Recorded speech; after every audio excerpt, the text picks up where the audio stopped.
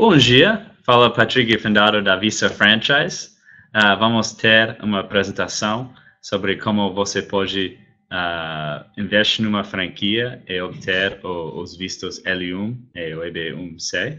Hoje temos o Tadeu uh, Ferreira, o advogado de imigração, como escritório aqui em Miami. Uh, ele vai falar sobre os vistos, requisitos, processo. E depois eu vou falar um pouco sobre uh, o processo da visa franchise, franquias que se qualificam por esses tipos de vistos e que a gente procura uh, e analisando nessas, uh, nessas, nessas franquias. Então, agora eu vou passar o, webinar para o Tadeu Ferreira. E qualquer pergunta você pode uh, enviar pelo, pelo chat box e a gente vai ter uh, FAQ depois da apresentação. Obrigado. Obrigado, Patrick. Bom dia, meu nome é Tadeu Ferreira, eu sou sócio do escritório Lei Ferreira de Araújo, é um escritório em Miami, especializado em imigração. É, atuamos com três sócios e dez advogados. É, somos dois sócios brasileiros, uma sócia fundadora americana, então nós temos muitos clientes brasileiros é, que têm essas, essa demanda pelo L1, por isso eu fui convidado para fazer essa apresentação. O que eu tentei fazer aqui nessa apresentação é, de forma sucinta, falar sobre os critérios usados para avaliar o processo de L1 e, subsequentemente, o EB1, para poder tirar o green card. É, no final, vou fazer algumas perguntas, vou responder algumas perguntas comuns, e no final das duas apresentações, nós vamos abrir para perguntas e responder coisas mais específicas.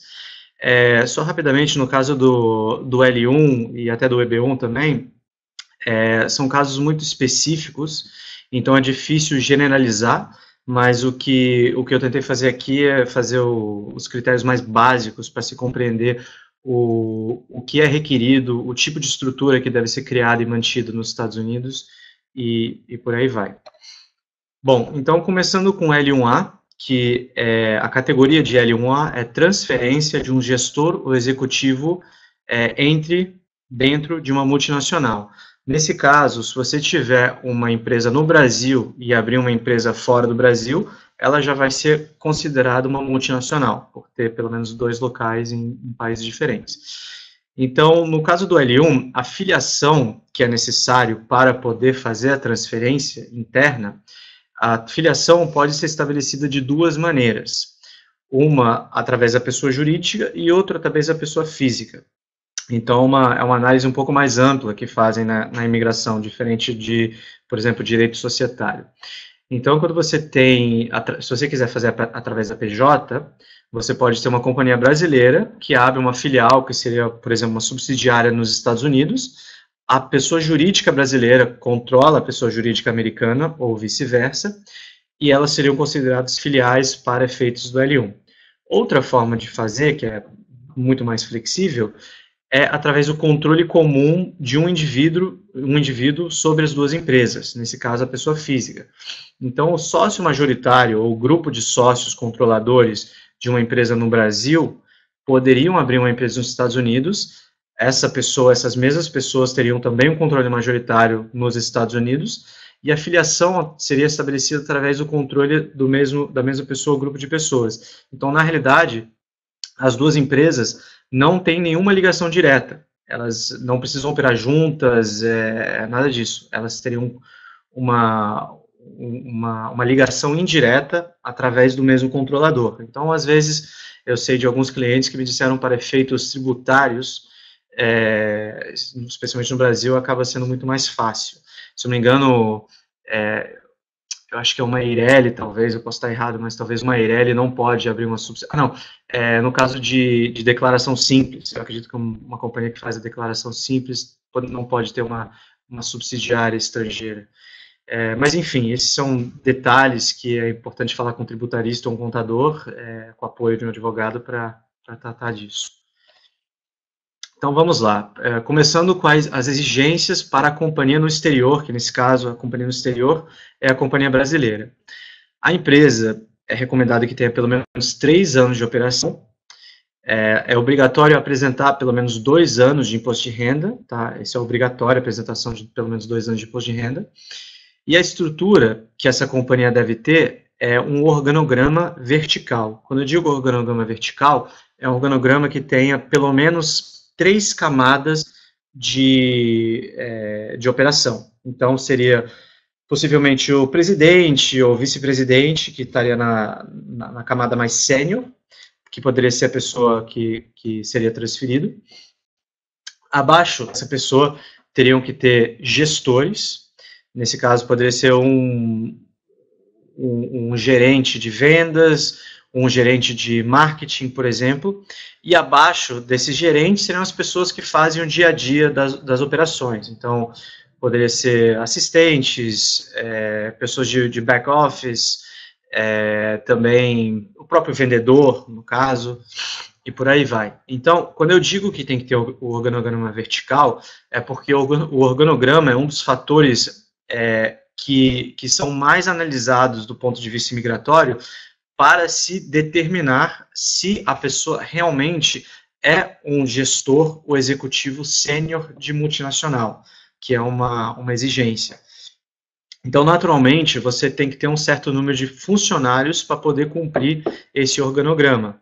É, não existe um número mágico, a, a, lei de L1 não estabelece um número mínimo, mas é, trabalhando de forma conservadora para montar um organograma como, como esse, você quer ter possivelmente no mínimo oito, nove funcionários no Brasil para se fazer isso. O faturamento necessário para fazer esse, o, o, L1, o processo de L1, é, também não é estabelecido por lei, mas naturalmente, hoje em dia com câmbio, acaba dificultando um pouco as coisas. É, o, o processo vai ser embasado com um, uma, um plano de negócios. Né? Esse plano de negócios vai mostrar quanto está sendo investido, quanto é necessário ser investido para viabilizar a empresa nos Estados Unidos e, claro, a empresa brasileira tem que ter condições de fazer esse investimento. É, se a empresa americana precisar talvez de 50 mil dólares, você quer que essa empresa brasileira tenha um faturamento suficiente para arcar com esses custos. E como nós temos agora um, um câmbio um pouco complicado, é, você quer, quer ter um faturamento que poderia suportar esse investimento sem prejudicar a operação brasileira. É, então, esses são os três critérios, na minha opinião, mais, mais importantes é, no Brasil para cumprir as exigências da companhia brasileira. Agora nós vamos pular para as exigências da companhia americana, a filial que vai ser criada aqui nos Estados Unidos. É, no caso, você pode fazer um L1 para uma empresa nova. É, essa empresa nova pode não ter operações ainda. Nesse caso, a única coisa que você precisaria ter é um escritório um plano de negócios e, obviamente, a empresa aberta com os fundos iniciais para se arcar com os custos iniciais, de escritório, por exemplo, e de mercadoria, caso você venda um produto. Então, nesse caso, quando a empresa é uma empresa nova, não tem faturamento ainda, e menos de 12 meses de operação, o L1 vai ser aprovado por um tempo provisório de 12 meses. Em casos como esse, você tem um L1 aprovado por um ano, 12 meses, depois você deve pedir uma extensão, mostrando que você cumpriu é, diversos objetivos que você havia estabelecido. E depois eles vão estender o, o L1 por 2, 2 e mais 2. O tempo total que uma pessoa pode ter o L1 é 7 anos. Então, nesse caso, quando uma empresa é nova, eles vão aprovar um ano e as extensões são de dois em dois. Quando é uma empresa que já existe há pelo menos um ano e já tem faturamento, uma empresa né, existente operando, eles podem aprovar o seu L1 inicial por três anos, depois mais três e depois mais um também para um total de sete. Você precisa, você precisa montar esse mesmo organograma vertical. O organograma vertical nos Estados Unidos não precisa ser idêntico ao brasileiro, tanto que você não precisa nem operar na mesma área ou, na mesma indústria. Você pode fazer uma coisa completamente distinta nos Estados Unidos. É, mas você precisa estabelecer um organograma para poder justificar a transferência e a permanência desse executivo. Então, se você abrir uma, uma, uma pequena loja que, que tenha só o, o, o, gerente da loja, que você pode querer que seja você, e os funcionários que vão estar né, vendendo o produto, isso não, não atenderia a demanda do L1, porque você não conseguiria demonstrar que é necessário ter um executivo para gerir essa pequena loja. Agora, se você montar um, por exemplo, um negócio que vai abrir uma loja de, não sei, de roupas ou, ou venda de algum serviço, algo assim, e você pretende futuramente abrir outras lojas, aí você poderia justificar, eu preciso ter um executivo para gerir toda essa estrutura, não só a estrutura da loja, como a estrutura operacional realmente do negócio, que, que tem planos de crescer. Eu vou montar pelo menos um gerente em cada loja, eu vou ter um, uma outra pessoa na área financeira para me, me assistir, para me ajudar, e dessa forma é, justificar a transferência sua como executivo ou, ou, gestor desse negócio. Então você deve também ter um organograma, organograma vertical. As condições financeiras iniciais e faturamento para renovação, bom, condições financeiras iniciais é o que eu mencionei inicialmente, é, sobre a empresa brasileira. Você quer ter uma, uma, uma conta, pessoa jurídica aqui nos Estados Unidos, com os fundos iniciais, eu recomendo pelo menos os seis primeiros meses de operação, é, porque assim, caso você tenha algum atraso na, no início do faturamento, você tem fundos é, para arcar com esses gastos iniciais. A imigração geralmente quer, quer ver esse tipo de coisa. Então, acho que seis meses é um, um período saudável para dar tempo suficiente para a empresa começar a faturar e aí usar o próprio faturamento para pagar os, as contas.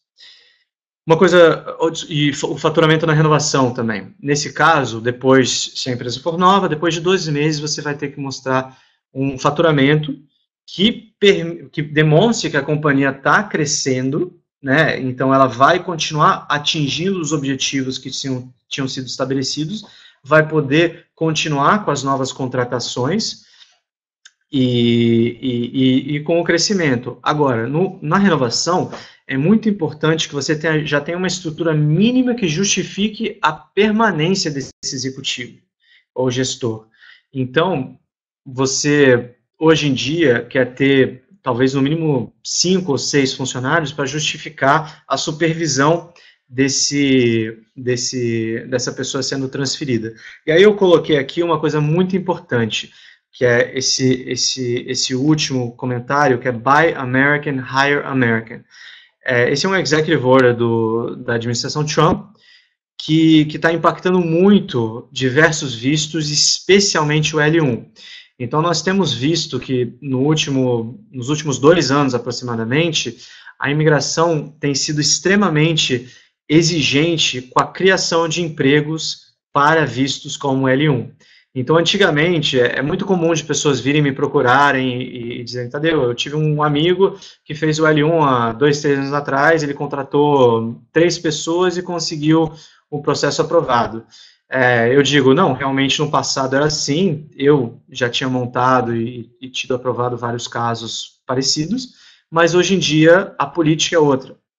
E a imigração está sendo muito exigente inclusive negando muitos pedidos que não estão cumprindo com essa criação de empregos. Então, hoje em dia, a minha recomendação é que você crie o máximo de número de empregos possível, que você monte esse organograma é, com, a, com o máximo de rapidez possível também, preferencialmente até o final do primeiro ano, no momento da renovação, você tenha é, possivelmente cinco ou seis funcionários para conseguir a renovação, né? Porque a pior coisa que pode acontecer é realmente você fazer o L1, investir nesse negócio, mas não só dinheiro, investir, investir dinheiro, investir tempo, investir o, talvez o futuro da sua família e, e tentar é, minimizar é, esse, essas exigências, acabar minimizando, não dando importância a essas exigências, não trabalhando de uma forma conservadora e ter o visto, a renovação do visto negado. Aí você já vai estar aqui 12 meses com sua família,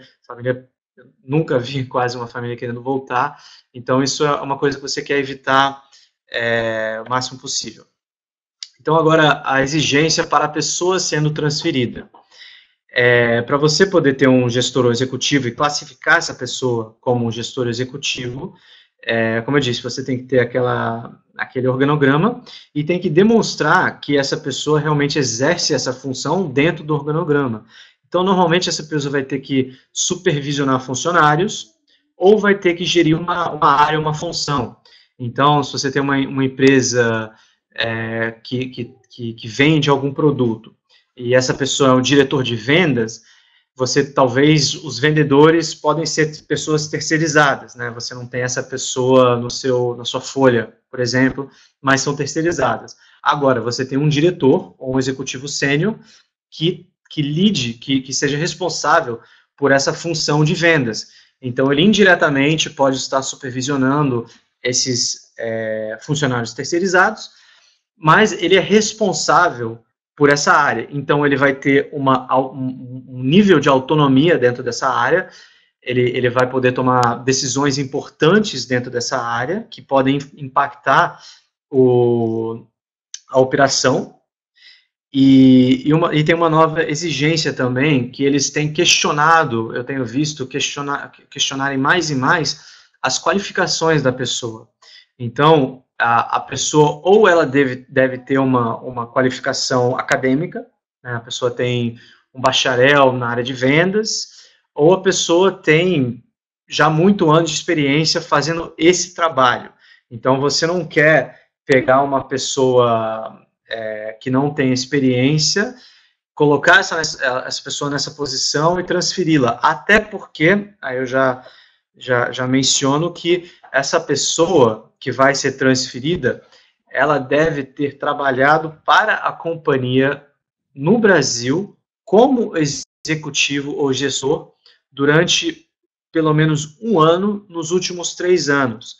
Então, é, hoje, nós estamos, vamos dizer, 2009, né, praticamente.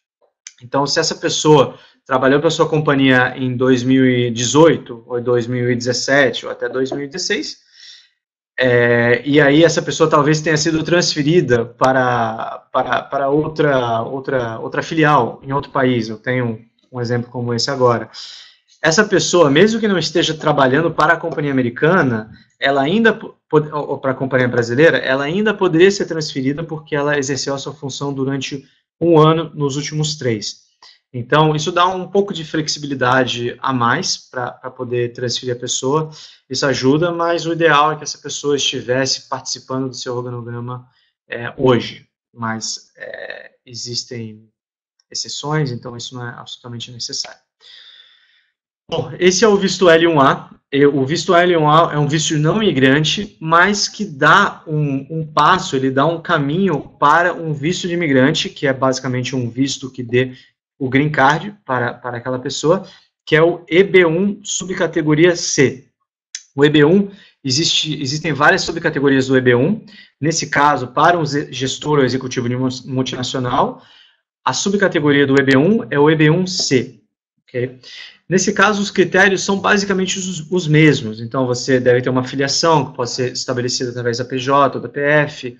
É, agora, fora você cumprir todos aqueles outros critérios, você precisa demonstrar que a sua que o seu negócio está operando de uma forma estável e plena.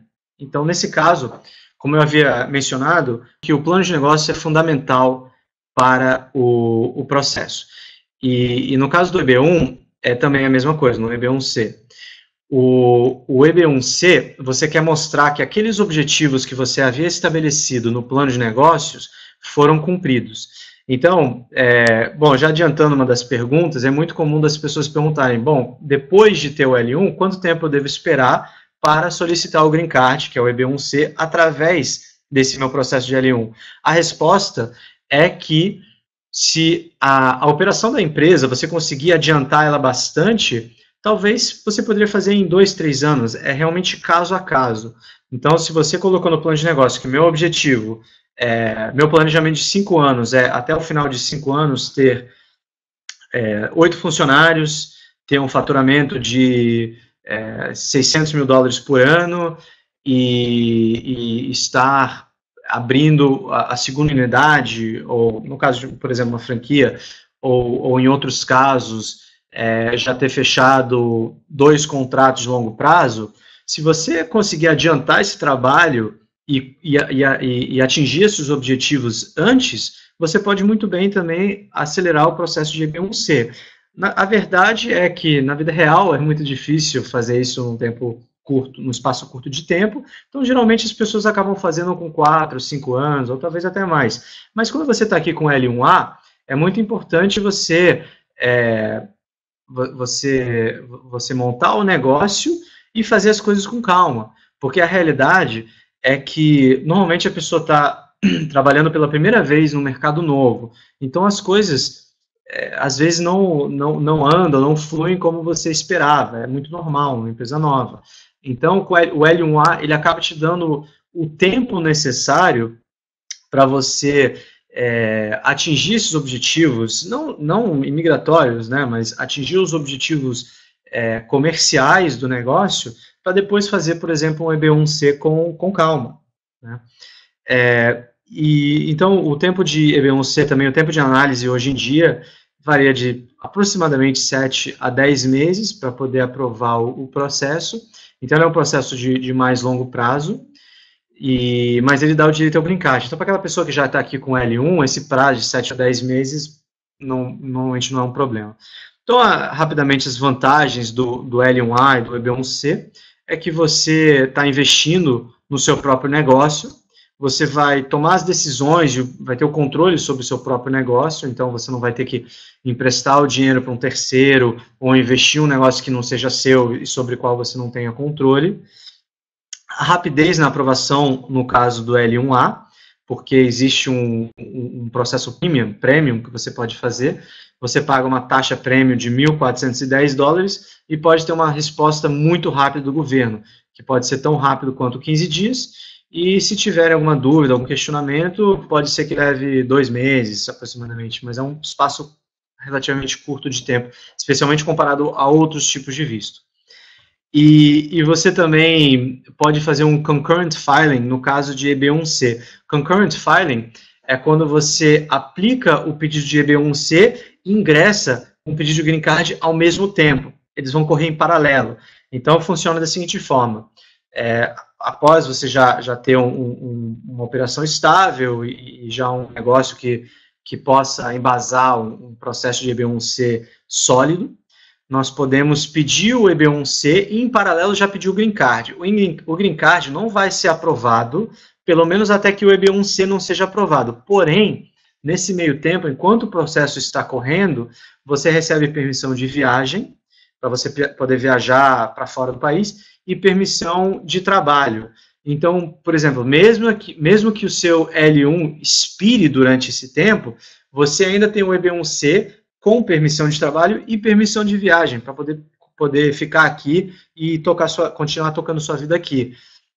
Então, se chegar, por exemplo, no sétimo ano e acabar o seu L1 e você já tiver entrado com esse processo, não tem problema. É, desculpa, deixa eu... Próximo slide aqui.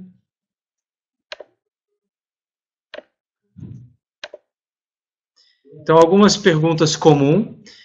É, quanto tempo leva o processo L1A desde a contratação do advogado? Bom, primeiro, essa pergunta, essa resposta varia muito de acordo com é, o tempo que leva para o cliente levantar os documentos da companhia brasileira, que geralmente são é, imposto de renda, folha salarial, é, um, um relatório financeiro mais recente, extratos bancários para mostrar movimentação, alguns, é, algumas faturas para mostrar que você faz negócios, contrato social. Então, tem diversos documentos que precisam ser levantados, organizados e traduzidos, né, porque todos os documentos que devem ser traduzidos para imigração. Então, dependendo do que tempo que leva o cliente, geralmente o advogado precisa de aproximadamente dois, talvez três meses para montar a documentação, e se você usar pagar a taxa premium, você pode ter uma resposta rapidamente. Então, em casos mais urgentes, nós conseguimos fazer esse trabalho talvez em dois, três meses até a aprovação. E em casos normais, eu diria é bom planejar pelo menos seis meses para fazer, poder fazer esse trabalho, a partir da, da contratação até uma decisão. Quanto tempo leva o processo EB1C desde a contratação do advogado? Bom, nesse caso, normalmente o advogado que faz o EB1C é o advogado que já fez o L1A. Então, ele tem muitos documentos que vão ser necessários. Então, isso já, já ajuda a ganhar tempo nesse, nesse sentido. É, o prazo do EB1C é aquele que eu havia mencionado, normalmente 7 a 10 meses, dependendo do RFI, também pode, pode ser um pouco mais, como também pode ser um pouco menos. Então, você quer programar aí pelo menos um ano para poder fazer o trabalho e ter uma decisão do EB1C. Após a aprovação do L1, quanto tempo preciso esperar para iniciar o EB1C? Bom, esse eu já respondi, é, normalmente caso a caso, mas se você, se você tiver já cumprido os objetivos do, do, do plano de negócio, você pode muito bem adiantar o, o EB1C e, e, e, ter essa, essa decisão. Agora, uma última coisa que eu queria mencionar importante também é que o EB1C ele não, ele não vai, ele não é o green card. O EB1C é uma categoria que você está solicitando para poder, então, pedir o green card. No caso, como eu havia mencionado, ser feito em paralelo. Mas você, tendo o EB1C aprovado, a imigração vai, então, aprovar o seu green card. Como eu disse, você vai ter permissão de trabalho e permissão de viagem, então isso não tem problema, mas leva-se um pouco, alguns meses adicionais para você ter o green card aprovado. É só importante entender isso. Mas o processo corre em paralelo, é feito junto, então, isso daí é só uma questão de planejamento, o advogado pode ajudar com isso e, e, e não vai ter problema algum. Bom, aqui ficam, meu, ficam os contatos de, de, a informação de contato do escritório, é, o endereço, nós estamos em Downtown Miami, o, o meu e-mail, tferreira.leaflaw.com, para quem tiver alguma dúvida, precisar fazer alguma consulta. É, quem estiver aqui também em Miami, eu posso recebê-los. E eu vou deixar agora com o Patrick, então. O Patrick vai falar sobre as opções de franquia, os processos de franquia, e no final nós vamos responder perguntas específicas. Bom, obrigado.